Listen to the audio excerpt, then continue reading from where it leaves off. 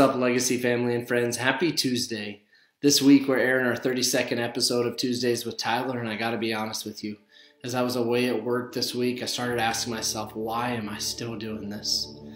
Am I doing this because the pastor asked me to do it? Am I doing it because I think that I'm getting closer to Jesus?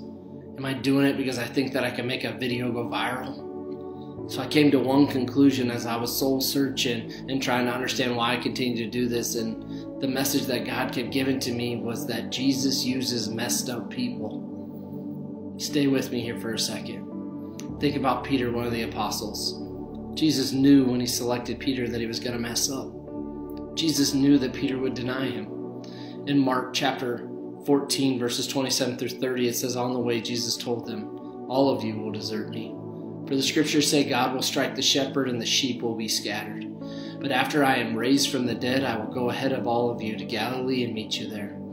Peter said to them, Even if everyone else deserts you, I never will. Jesus replied, I tell you the truth, Peter. This very night, before the rooster crows twice, you will deny me three times that you even know me. Obviously, we know how that ends. Peter failed him. Peter messed up. But guess what? Jesus still used Peter. The same man that knew Peter was going to mess up is the same man that knows that you're going to mess up. He's not seeking people that have everything figured out. He's looking for people like you and me that are going to mess up. He knows that you're messing up in your life right now. He knows that you're a sinner. He knows that you're putting things ahead in your life right now ahead of Him. He knows that you'd rather probably skip past this message right now because there's something more important in your life going on. Jesus knows that you're going to mess up, but He still loves you. He's the same God today, tomorrow, and forever. What else do you need to hear?